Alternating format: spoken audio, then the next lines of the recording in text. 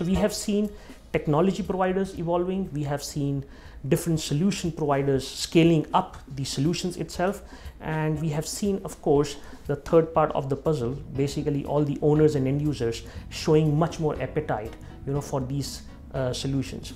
Very importantly, what we have also seen is that a lot of these solution providers have started to talk to each other. They have started to bring a lot of integrated solutions. They have started to talk about number of use cases, which actually is helping owners to solve the problems of today. And with the growing number of use cases with integrated solutions, actually end users see far more benefits, you know, from the IoT solutions of today, what they have seen three to five years back there is a commercial viability of it. There is an improved roi situations.